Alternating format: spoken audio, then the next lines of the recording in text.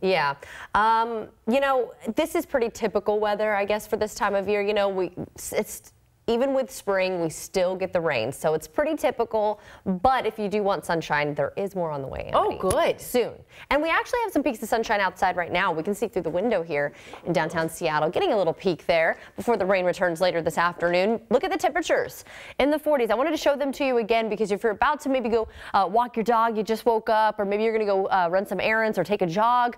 Uh, 47 right now for you in Seattle, 42 in Olympia, 50 in Victoria, 51 Oak Harbor. So quite a range from the 40s, but also a couple 50s on there. But I mentioned some of us are cooler than this time yesterday. Shelton, you are five degrees cooler not a huge drop in the temp. So most of you won't notice that it's a little bit cooler because it's only about a, a, degree or so in most locations. But this area of low pressure we've been watching, remember it was a little farther to the west and uh, south yesterday, now continuing to push off towards the north and east. And as it does, we'll start to see some drier air moving in, but not really until Tuesday. So we do have a few showers today and tomorrow. So as we get into your afternoon, notice how those showers push down towards the sound and then throughout the afternoon becoming a little bit uh, spotty. So lunchtime, widespread rain, dinner time, scattered to spotty showers. Here's a look at your mountain forecast for today. A mix of rain and snow. Those temperatures ranging in the 40s there. And those scattered showers really just uh, not as intense as yesterday.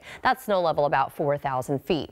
Here's a look at the next seven days. So we'll, we'll see the sun peeking at times today, but we are keeping showers in the forecast. Shouldn't be as wet as yesterday, but they're still, like I said, you might still need that jacket if you're going to be out and about. Now on Monday, just a few showers left over, and then by Tuesday, we start to see that ridge building in, and by midweek, we're already back into the 70s with ample sunshine. I see where you're going with this. Yeah, so we only have to get through a couple days, and they're really not washout days by any means. So just a few showers. And it's over. okay. It's all right because okay. my we'll lawn needed it. Oh, really? Oh, yeah. It's, well, there you go.